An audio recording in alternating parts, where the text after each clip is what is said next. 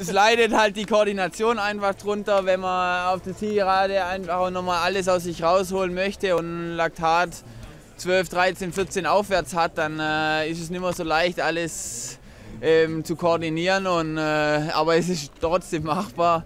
In den meisten Rennen habe ich das auch geschafft. Bisschen ärgerlich, dass ich da die zwei direkt vor mir platzierten nicht mehr oder nicht halten konnte auf der Schlussrunde. Da hatte ich auch nicht den allerbesten Tag vielleicht, aber ich glaube, ich habe heute äh, wirklich das Optimum rausgeholt. Bin ich extrem schlecht gelaunt, wenn ich dran denke. Da lief eigentlich alles falsch, äh, was hätte falsch laufen können.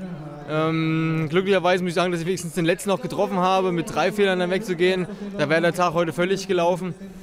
Aber so mit 0-2 noch in den Top 20 zu hausieren, ist, äh, glaube ich, ganz okay. Bis Silber sind jetzt 16, 17 Sekunden, also es ist ähm, nicht allzu viel, ich denke, das ist schon machbar. Und da möchte ich angreifen. Denke, läuferisch bin ich bei den Leuten absolut dabei. Also ich versuche jetzt erstmal die ersten Runden morgen noch nicht so viel über die Platzierung nachzudenken, sondern erstmal wieder Fokus auf den Skistand und dann äh, schauen, was auf der Schlussrunde geht.